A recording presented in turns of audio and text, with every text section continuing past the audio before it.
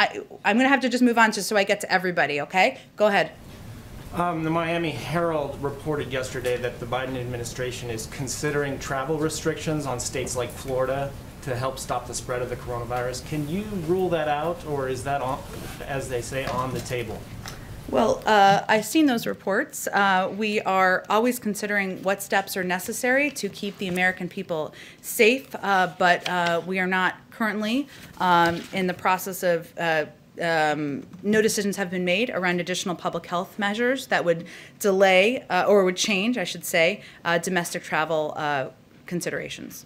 Regarding um, regarding the domestic travel, also going back to the border, the president is, does the president support leaving the southern border open to migrants even before he would even consider this idea of domestic travel restrictions?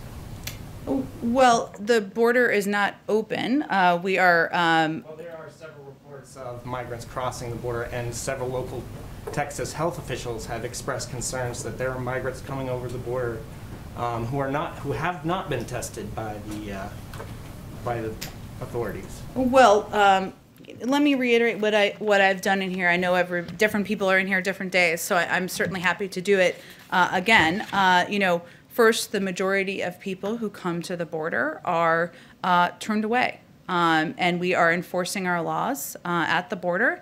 But we are also doing it or, or attempting to do it in a humane way. Uh, and so this is not, again, the time to come. Uh, we have, uh, of course, I would refer you to uh, DHS and CBP who can outline more specifics.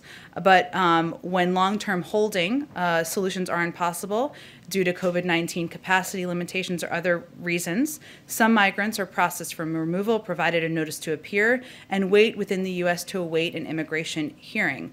Uh, these have been incredibly narrow and limited circumstances in which they've happened recently. Uh, and I'd certainly defer you, uh, send you to the Department of Homeland Security for more specifics and numbers and data, which they're just more equipped to provide. Would you agree that it's humane to sort of institute mandatory testing for these migrants that are being released? Again, I would send you to them to give more outlines of the numbers and the specifics of what actions are taken at the border, and I'm sure they're happy to answer your questions. And just a follow up, um, the president spoke with the president of China, Xi Jinping, and said that he addressed the human rights abuses. Does the president support American companies doing business in China to express the same reservations about those abuses?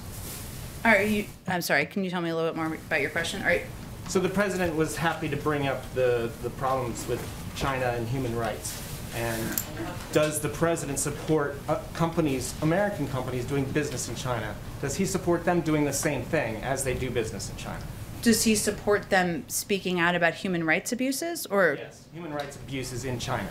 Oh. There's been some reluctance by American companies to address this issue because they're doing business in China.